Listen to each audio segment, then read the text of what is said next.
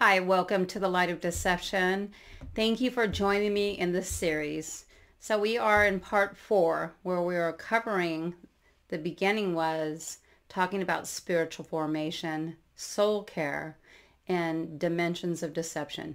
So here we go. So this is going to be part four. So part one was talking about spiritual formation. Part two was talking about contemplative prayer. Part three was talking about centering prayer. And today we're going to be talking about breath prayer. How do these all come together under spiritual formation? And what does this have to do with ancient mysticism and ecumenism? Ecumenism. We're going to be bringing it all together to tell you why it makes everybody feel like they're in this oneness this everybody's coming up when we breathe and everybody else is breathing and the birds have a story to tell you and you're in oneness with the wind and you start sounding like a Buddhist monk. You start sounding like you have arrived at some heightened understanding of truth and everybody else needs to arrive at that heightened understanding of truth. And the reason I'm telling you this is because I fell into this deception. So I fell into all these practices, these ancient practices, the going within to find God, practicing the presence of God. I got into all these ancient practices. It even goes under Gnosticism and ancient knowledge. You know, you have some kind of knowledge that other people need to know about. And it gets into all these different places of really arriving at yourself. So what would the Bible say? Die to self. What would the world say? Arrive at self. What would the Bible say about learning from beginning to end to understand the scriptures in its entirety. What would the Bible be saying about eschatology and the seasons and the times we're living in and this great apostasy, the great falling away from biblical truth. Some people think it's the catching away. Some people say it's a falling away. But it surely looks like the deception's been going on a long time, but it's getting worse and worse and worse. So this global system of churches is rising and the biblical believing, you know, scripture by scripture, from start to finish, you know, I take the Bible as a whole, Judeo-Christians, the conservatives are now being silenced, right? So this other world system, church system that looks just like the world is rising. So if the world's into some kind of movements and agendas, the church is into it. So there's no difference between the church and the world. So sometimes I think about this. I think about why put your kid in a private school or a private Christian school if they're under the world curriculum. So start looking at that. Start looking, does the private schools teach a curriculum that's in the church? Does the private schools, you know, the public schools teach what's going on in the private schools? Is this really a private Christian school? Is this a private school that's owned under globalism? Is it a global church system? I would start questioning, are they about the Word of God? Are they standing unwavering on the Word of God? Do they look different than the rest of the world or do they look the same as the rest of the world? Are they set apart? Are they going along to get along? So let's see. What is breath prayers have to do with all this mysticism? You'll see soon.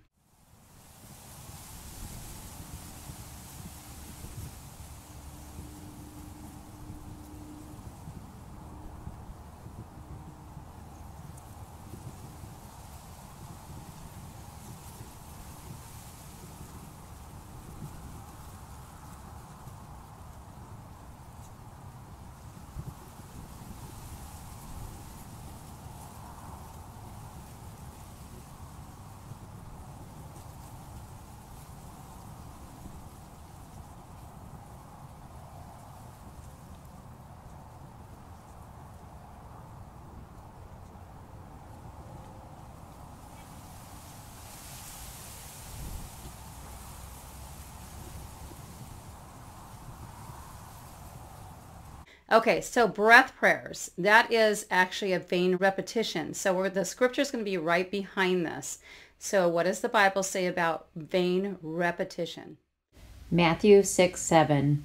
And when you pray, do not use vain repetitions as the heathens do, for they think that they will be heard for their many words. So if you empty out in your mind, you're opening yourself up to familiar spirits. You're uh, opening yourself up to things that you should not be opening yourself up to, even though it feels good. Does it feel right? It feels so enlightening it feels so uplifting it feels so so you know your feelings and your emotions and your imagination will lead you astray they, i say that a lot because it's so so so true what sounds good is not always good. What does the Bible say about such things? The Bible should be your roadmap for all things, your plumb line for all things. You're checking things with the Word of God and not taking Jesus outside the box if they're talking about the Word of God, right? So the Word of God tells you.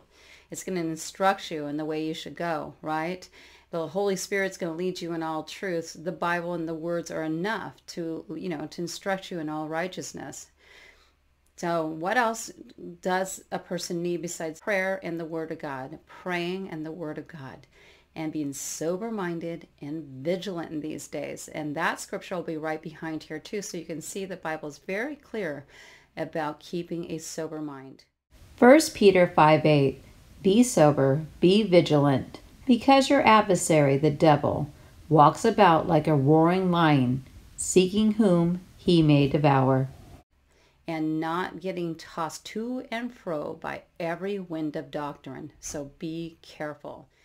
Ephesians 4:14 that we should no longer be children tossed to and fro and carried about with every wind of doctrine by the trickery of men in the cunning craftiness of deceitful plotting because it is a warning in the Bible too that you might just give in if a new doctrine comes in. You might as well follow it. You might follow it.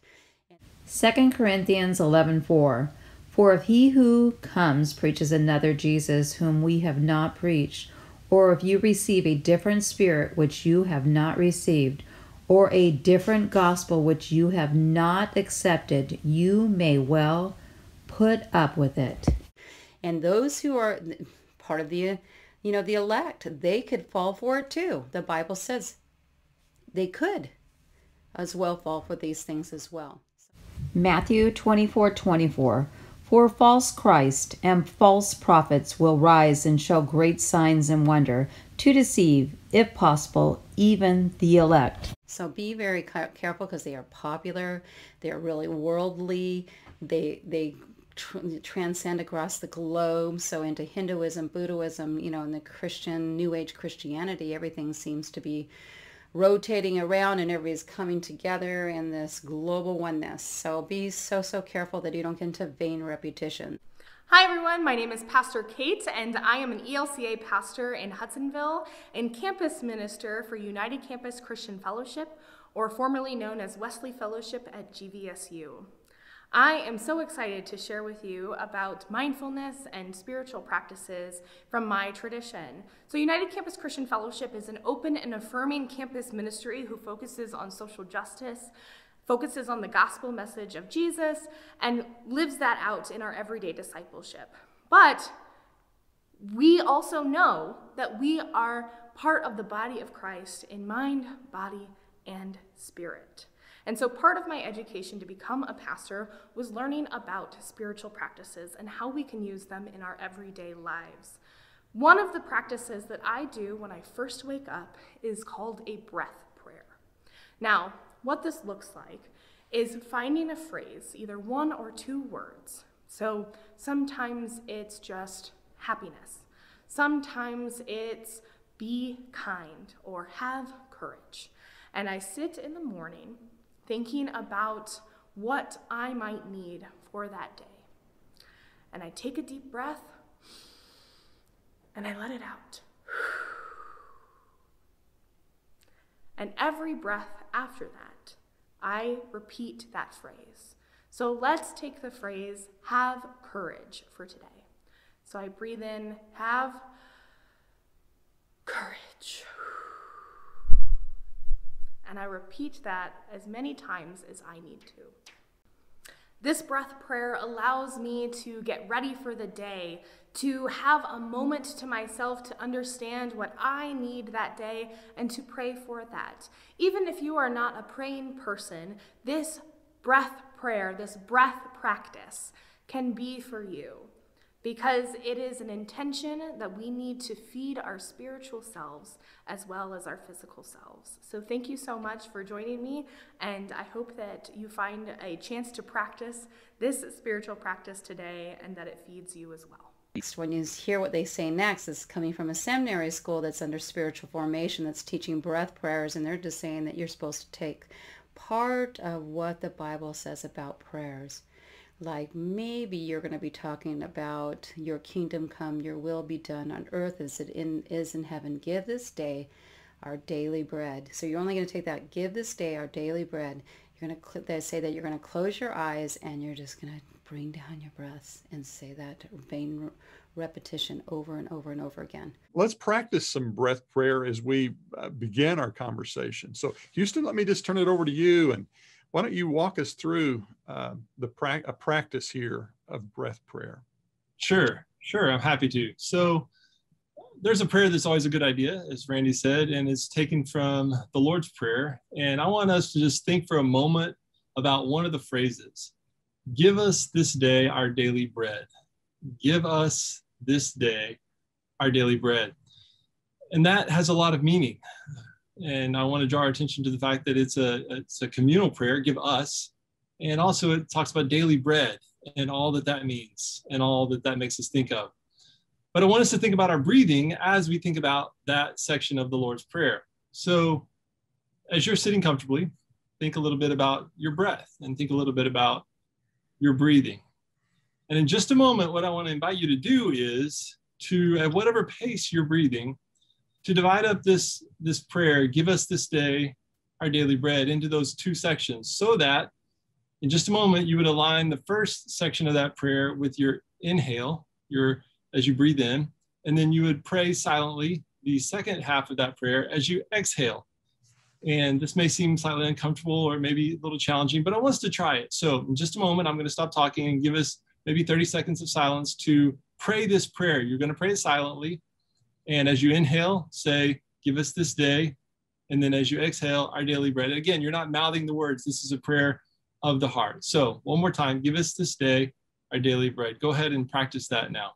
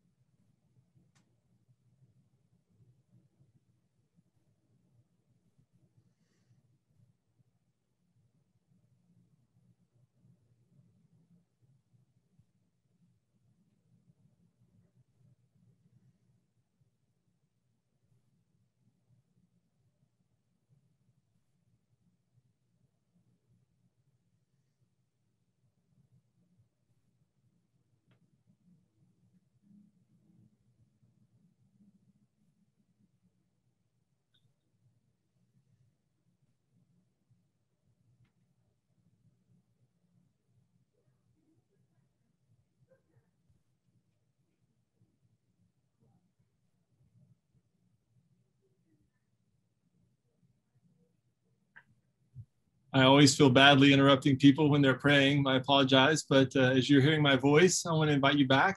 And it's my guess that there are many sensations you felt. And for some people, it was it was nerve wracking to think about aligning prayer with our breath. And others, it made us breathe more slowly so that perhaps we were gasping for air. And others made us perhaps breathe more quickly. Uh, but I wanted to give us a, a, baseline of what it was like to, to pray a breath prayer. And we can talk more about the mechanics of it if we if we want to, or we can talk about that as you ask questions a little bit later. But uh, give us this day our daily bread is a great prayer to always always be praying. Now it's a model prayer for us to do the whole entire thing, right? It was a model, not to be that it was supposed to be repeated over and over and over and over and over the Lord's Prayer. It was a model to pray. It's a model prayer, and it's not to be chanted. It's not what he put it out there for. It was sh- showing you a model of prayer. I said that a couple times. I think it's very important to remember that. And also these bringing down your breath and all these different things. They're Eastern meditation practices in the church. If they're Eastern meditation practices and they're in the church, what are they going to lead you to? Great delusion. You'll be given away to those delusions because you're under Eastern mysticism. So be so, so very careful and remember, check the Word of God to make sure if anybody was teachings, whatever they're saying is biblical, because if it's not, stay clear of it. So you do not fall into deception. You know, I'm telling you that because I did. I was trusting people to bring in truths through their books. I was trusting people in the church because it was a Christian church. I was trusting people you know, and that's gullible in a lot of ways. I guess I was um, very young in the faith and very gullible. So that's a, another thing too. Is if you think about it, they're putting young, young people into leadership roles. They're training them in a certain way and then leading them out as youngsters, very young in the faith. And that's how they can lead people because they can lead them into deception. And they're young enough to lead other people into deception and so on and so forth. So it doesn't mean the people that are actually doing it or doing it um, knowingly. They're not knowingly. They're somehow brainwashed. They are they were taught a different doctrine, and then now they're going around and they're spreading it too. So you might have a main leader, like a big time person that's making a lot of buck, books through their models and steps and programs and all the things they have out there. And then you have these other ones that are teaching it in the schools and churches, and then young people are coming into leadership roles. Coaches, I, I mean, I don't know what you want to call them, life coaches, and they're actually not mature in the faith themselves, so they're, they're very young in the faith. So if you're very young in the faith, you can be tossed to and fro by every wind of, wind of doctrine. Doesn't mean that a young person can't be mature.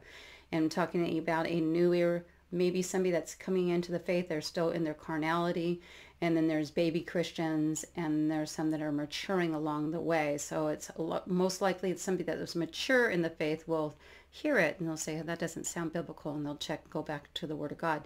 Doesn't mean that they can't fall away as well. So be very, very careful not to be led astray by these things that are popular in the world and everybody saying you need to go through this program, you need to go through this class, you need to go through these steps, you need to be a part of this movement. You need to follow the person and not the Lord. So it's not about me. It is about him and leading people to his truth because he is the way, the truth, and the life. And no man comes to the Father except through him. I hope this helps. Thanks for listening. Bye-bye.